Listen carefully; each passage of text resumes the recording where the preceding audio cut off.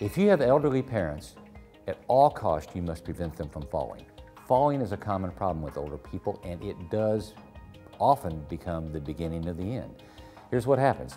An elderly person falls, they break their hip, they have to go to a nursing home, they lay still and don't get up much, they get blood clots in their legs, that goes to their lungs and they can die.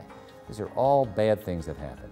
So what do you do to prevent falls? I mean, first of all, you've got to re realize that older people fall because, number one, they may be dehydrated, they don't drink enough fluid, so they get dizzy when they stand up.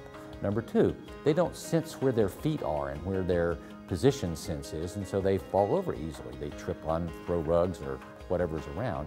And they're on medications often, and a lot of medications that may interact, lower their blood pressure, and then they fall.